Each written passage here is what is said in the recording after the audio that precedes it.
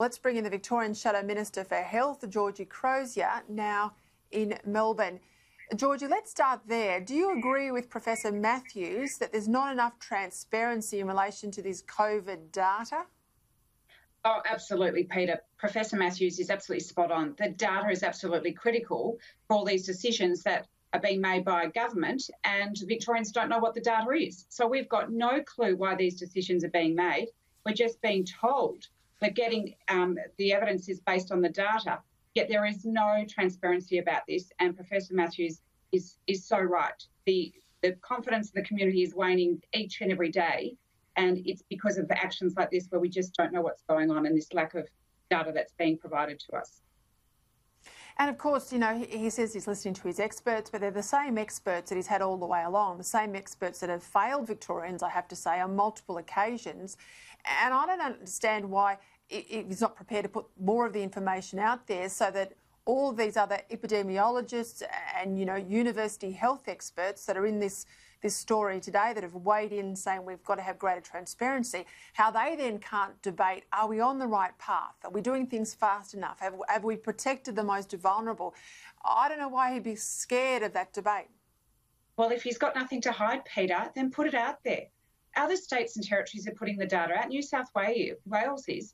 So there's just so much data that needs to be coming out so that the community can understand what's going on. And those very real experts that uh, the Premier keeps saying he's getting his information on, let the other epidemiologists and experts see what the data says as well.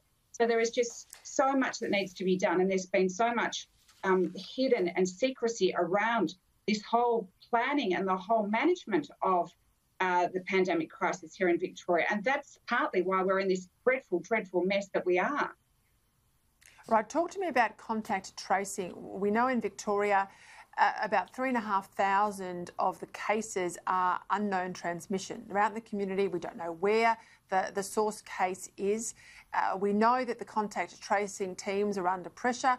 I still understand why the Premier knocked back the help of the military for so long. Now he can't have enough. Now he's asking the Prime Minister, as we saw again today, for more military. How have we got this so wrong uh, compared to other states. Big states like New South Wales are much better at the tracing. What's, what's happened here, Georgie? Well, in New South Wales, they followed up every case every day. They had the support of the ADF since April when they knew they had a problem. And it just beggars belief why the, the Andrews government had refused that support from the ADF when we were calling on it weeks and weeks ago. And what we've found is the public um, health team here in Victoria is has been the worst resourced of anywhere in the country. So they couldn't even do the job. And this is just scandalous what has gone on. We've got these catastrophic failings because of the lack of the contact tracing that should have been done, and as a result, this widespread community transmission. Let me ask you an interesting point you made there about this public health team. I saw a statistic a couple of weeks ago that there were more people, political hmm. staffers, in the Premier's office than they were in this public health team uh, at the start of the pandemic. Of course, Daniel Andrews is the Premier, but he was also the Health Minister for some time. So he's had a long history in this area. There were some announcements going into the weekend about a reorganisation again of the internal structures in the Victorian government, particularly in relation to health. What can you tell us?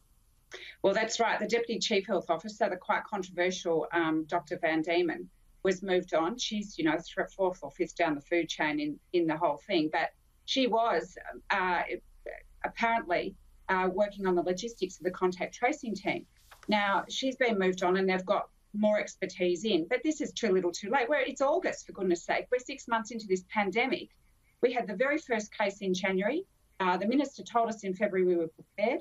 We clearly haven't been, and this this team in the department has been absolutely uh, under resourced. And I, I've got to say, you've got to question what actually went on and also why the Premier hasn't questioned his own minister and those other ministers sitting around that uh, cabinet of eight around making these very significant decisions on behalf of all Victorians and why he didn't question are we doing this right and have we got it right?